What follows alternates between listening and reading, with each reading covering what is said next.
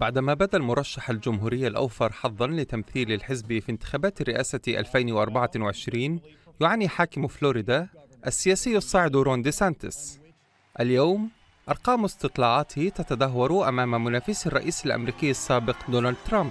في مواجهة ترامب وقع دي سانتس في فخ اتخاذ مواقف أكثر تحفظا وأكثر ميلا لأقصى اليمين. بعدما كان منذ أشهر بمثابة المرشح الجمهوري المعتدل وهو الفخ ذاته الذي وقع فيه تيد كروز أمام ترامب في انتخابات 2016 ارتكب دي سانتس عدة أخطاء بحسب نيويورك تايمز أبرزها إعلان موقف لين نسبيا تجاه روسيا فيما يخص الحرب الأوكرانية. كما أن معركة حاكم فلوريدا مع شركة ديزني لم تساعده.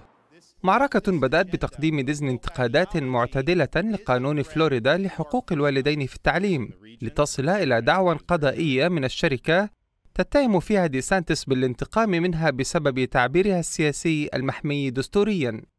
تفادى معظم المرشحين الجمهوريين انتقاد ترامب في إطار القضايا المرفوعة ضده خوفا من التعرض لسيل غضبه وحرصا على مراعاة الناخبين الذين يكنون له إعجابا هائلا. وحده رون دي سانتس انتقده ما جعله يواجه حملة غضب من ترامب ومعسكره. مثلت موجة التأييد لترامب سلسلة مخيبة للآمال من الانشقاقات بالنسبة لدي And I'm beating Joe Biden by a lot, very importantly. So.